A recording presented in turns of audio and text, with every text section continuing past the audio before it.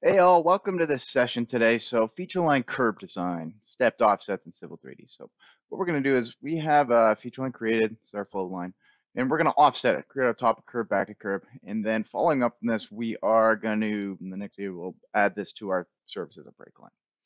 So this is piggybacking off a previous session where we created our flow line from our grading. So we created a center line, so to speak, of our parking lot. We had some known elevations, some known grades between those elevations that feature line. Then we just graded down from that feature line, negative 2% slope. Then we create our flow line from the elevations of those gradings. Now that we have this flow line, we are going to create our top curb, back curb. So flow line created. So this could be you know, this could be done in another fashion, but this was created from our gradings. We're going to take a look at this in Civil 3D just to, you know, review what that is. And then we're going to create a top curb. So we're going to offset our uh, feature line. Now, keep in mind, one thing when you offset is the feature line can't be right on top of the, um, the flow line. So it needs to be offset back uh, distance. So 0.01 is the distance, the minimum you can do, but a tenth of a foot is um, is another way, you know, another practice to do it as well. So generally speaking, when we work with like machine control, for example, we have a tenth of a foot uh, room for uh, margin of error. So a tenth of a foot can actually be a little better because the feature lines have a little more distance between them, and it's a little easier to work with. A hundredth of a hundredth of a foot, they're basically on top of each other. It's really hard to select them when you're uh, when you're working with them. And then we're going to create our back curb. So offsetting from that original feature line, um, 0.5 and 0.5.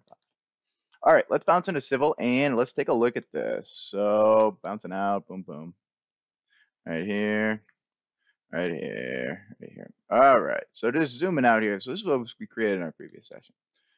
We had this feature line right here we created from on created from an object, was in our XREF, assigned some gradings to it, some elevations to it. And then we graded down from this feature line. This is our grading right here. So right here and right here graded down from that feature line, negative 2% each direction.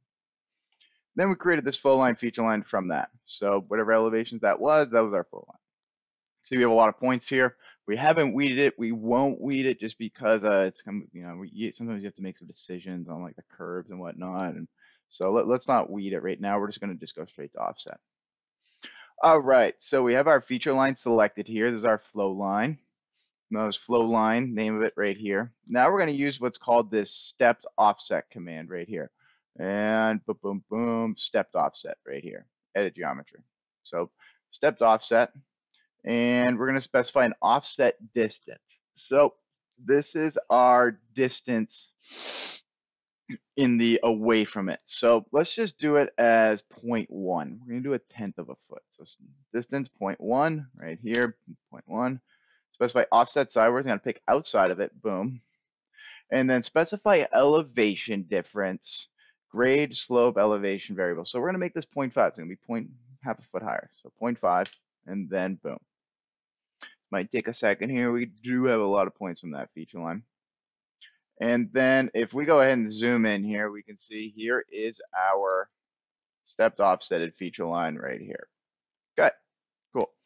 And you know, so keep in mind, this is a tenth of a foot between these two, a tenth of a foot right here. So you could do 0.1 if you really wanted to have just, you know, right very close. But keep in mind when you zoom in to select, you got to zoom way in to select it or do it another fashion versus like, you know, you could just select it a lot easier with a tenth of a foot. All right. The same thing again. So now we're going to do our back of curb.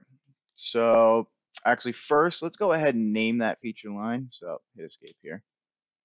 And we're going to go to our sites right here and our grading site, our feature lines. And notice this one doesn't have a name. So we'll call this just TOC top curb. Okay, top curb, feature line defined. All right, so now going back to our flow line here, I'm going to select this again. And we're going to use our stepped offset right here.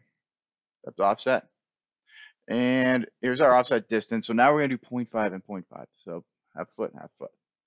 0.5 select our offset side right here, select side to offset right here, boom. And then elevation difference 0.5 and enter. Let this cook for a second. And now we have our back of curb. So we have our flow line, top of curb, back of curb. Let's go to our sites here and see if I give that a second update. Oh, we have to unselect the command, then it comes back. And we'll just call this back curb. Now we have these selected. Let's go ahead and let's just grab them, take a look at what we just did here. Boom, boom. Drag it open in object viewer. I think this should work my, um, all right, let's zoom in here. So now we can see this is what we just did right here. So here's our flow line, top of curb, back of curb. And then jump into the next session, we're just gonna add this to a surface as a break line and create our parking lot, um, create our parking lot surface. All right, see you in the next session on the other side.